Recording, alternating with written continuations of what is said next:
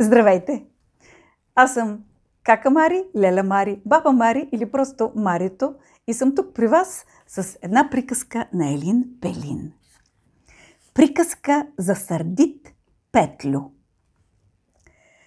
Живели си мирно и тихо Петел и Кокошка. Веднъж те отишли в гората за орехи.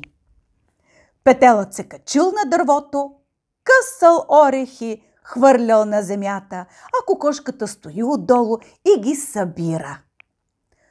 Работата вървяла добре, но не щеш ли, петелът се закачил за един клон и си ускубал няколко пера от опашката. Той се ядосал страшно и без да гледа ударил кокошката, избил и едното око. Заплакала кокошката и тръгнала да си върви. Срещнали я хора и юнаци. Спрели са и я попитали. Защо ти, кокошчице, плачеш? Защо, хубавице, те изкърбиш? Петлю, ме изби ученцето, юнаци честни. Юнаците повикали Петля. Петлю, Петлю, защо изби окото на кокошката?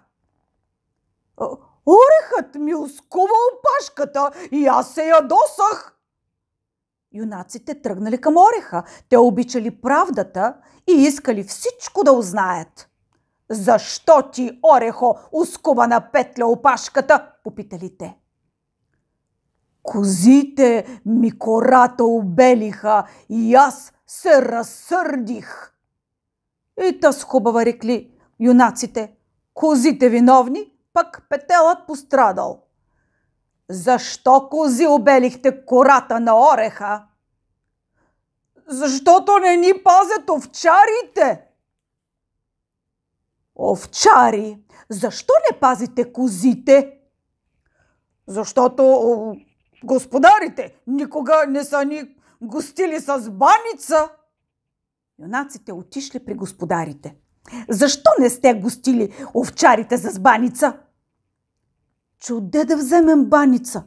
Свинята ни а, разсипа тестото. Чудна работа. Защо ти, свиньо, разсипа тестото?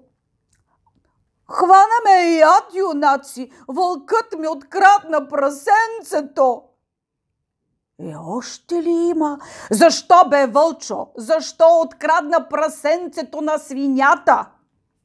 Защо? Гладен бях. За това. Юнаците не знаели какво да кажат, само дигали ръце, пошепнали си нещо, ударили кончетата си и се изгубили. Ето, виждате ли как злото се разпространява и разпростира. Иди го задръж. Пък ако човек се въздържа и спира гнева си, много лоши работи няма да се случват. И така, в тази приказка полката е казват накрая.